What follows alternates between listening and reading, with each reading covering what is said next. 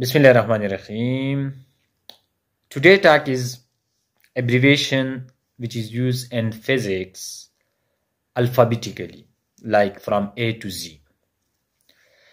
A is used for AC which is used in physics AC current alternating current.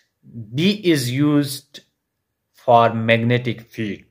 C is used for speed of light and DC is used for DC, direct current. E is used for energy and F is used for force, G gravitational constant, H Planck constant, I current, J joule which is the unit of work and energy, K Kelvin which is the unit of temperature, L inductance, M mass, N Newton, O ohm which is the unit of resistance, P power, Q charge, R resistance, S very interesting.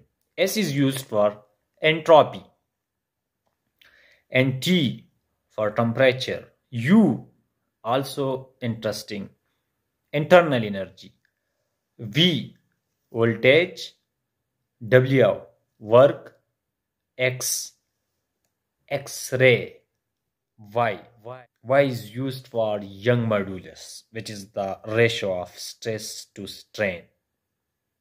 And Z is used for impedance, which is the combined opposition offered to the flow of charges. So these are the abbreviation from A to Z and very interesting.